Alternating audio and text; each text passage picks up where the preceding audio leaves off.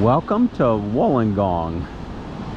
I think I'm pronouncing that right. And I found my way down, as you can see, to the waterfront. And I thought I would do a little walk and talk here in Wollongong. I'm actually staying in a community not too far from here. And look at this. This is what you would call a rock pool here in Australia. And there's no shortage of rock pools and the various coastal towns that you'll travel. And it's a uh, right now it is actually a summer evening going on evening transitioning from afternoon to evening. And I thought I would just take you for a little little walk through this portion of, of Wollongong. Wollongong is actually a rather large city or a, a good sized city. And I just spent a little bit of time trying to navigate my way through the streets of the what they would call the CBD, Central Business District. And I thought I'd come down here to the waterfront. You'll see a lot of pictures, a lot of aerial shots of this beautiful stretch of coastline, just about an hour south of Sydney. And unfortunately, I was hoping to share with you a spectacular view of this swimming pool up here, this public swimming pool that is uh, supposed to be. Well it's it's it's when it's filled I would imagine that it would just be really a really a sight to see. But unfortunately as it is right now as they were doing the pool down uh, down near where I'm staying they're they're cleaning it. So they've drained they've drained the pool and they're in the process of uh, probably pressure washing the, the sides of the pool and what have you. Maybe they'll even be painting the the pool but I'm just going to do what I like to do and that is a walk and talk. And just around the corner from this pool would be the uh, would be the harbor. And something that was rather interesting that I learned about Wollongong today was that Wollongong actually has two lighthouses whereas a lot of cities would have one one lighthouse. Wollongong has has two lighthouses. Now I don't know the story behind the uh, the necessity of two lighthouses, but I'm sure there is one, and you could probably Google it and find out. But what I'm going to do is I'll uh, I'm just going to walk from where I'm at right now, walk down along the the park. There's a beautiful park up here, just just right uh, right alongside the harbor, and work my way out to the work my way out to the lighthouse if I'm uh, if I'm able to, which I certainly think that I would be. It's rather a nice evening today. Temperature is probably in the lower lower to mid 70s, I would imagine. So here's your here's your harbor right here.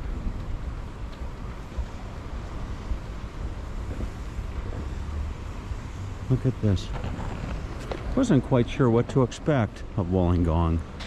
I've heard different things as people have uh, told me their various opinions about this city just south of uh, just south of Sydney.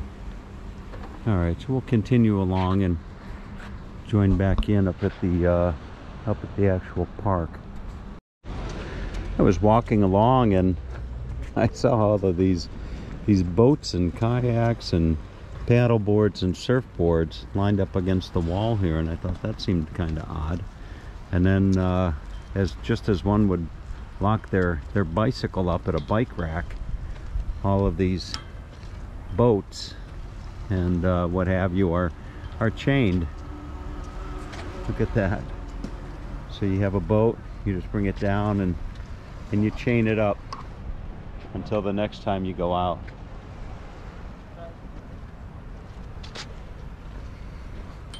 And coming up here they have a rather nice rather nice park with a with a sandy beach. No shortages of sandy beaches in Australia, that's for sure. Well, I've come to the Belmore Basin. I'm not sure if that's the name of the the park but you can see there's rather nice uh, housing development right over there condos looks actually quite uh, quite beautiful. And then there's several other buildings here along the waterfront where you might uh, end up calling calling home. And then just up here there's a there's a restaurant. One thing I'm noticing is all of the individuals walking their dogs, which is really a nice sight to see.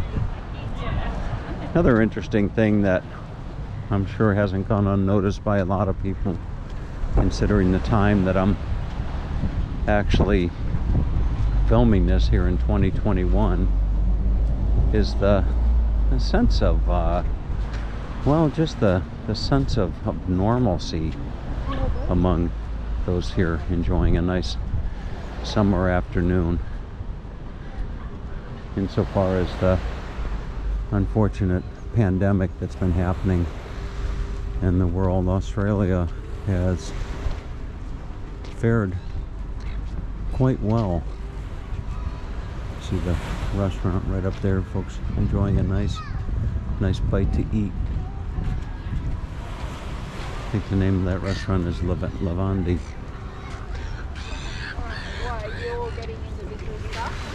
Off in the distance, there's a gentleman coming in on a on a paddle board. This caught my attention a little bit earlier, and it's a it's a tree here. And normally I wouldn't think to share the tree with with the exception of the fact that there's a big there's a big sign right here. And the sign says the beauty of trees these much loved coastal tea trees were devastatingly vandalized under the cover of darkness. In 2020 so many in our community were distressed by this act. These trees had their bark worn smooth by generations of children climbing on their branches. They offered welcome shade photographic inspiration and sheltered wildlife. We hope they will survive our arborist will closely monitor them over the next 18 months. Look at that. So their bark was stripped smooth by kids walking on them. And they're trying to trying to save them. Actually quite beautiful trees.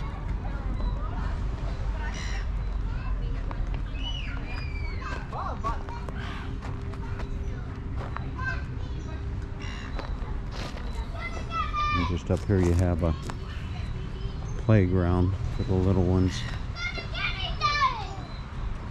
No shortage of playgrounds in Australia.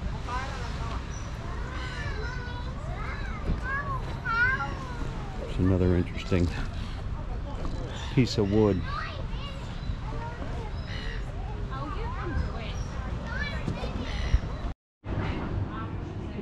Here's another view of the same harbor from up on a, a restaurant looking out over over the vessels and the lighthouse out over there.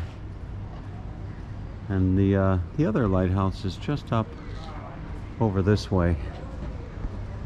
And perhaps they perhaps they had lighthouses two lighthouses because the different angles and heights of the of the shoreline.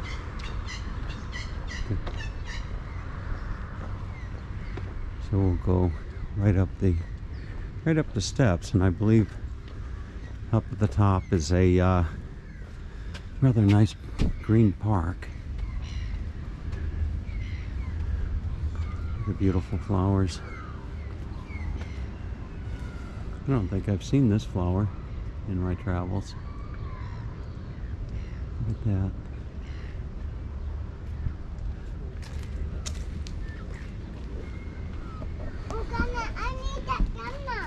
Yeah? For my paint. Sorry. Hello. You alright? I need this camera.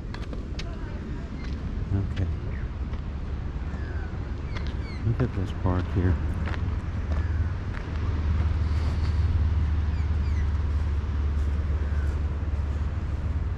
Very nice.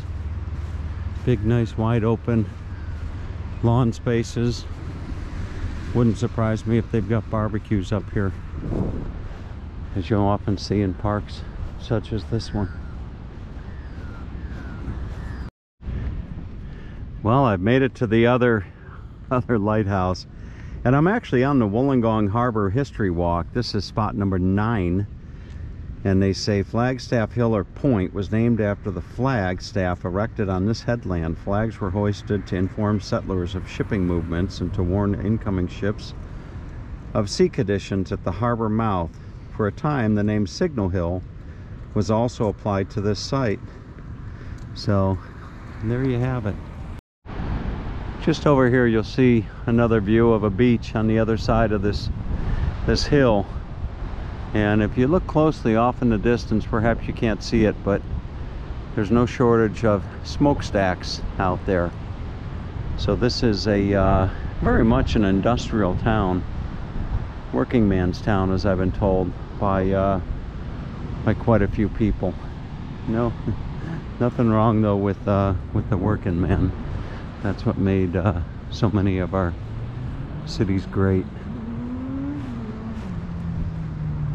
All right. So we'll see what else we can share on the way way back.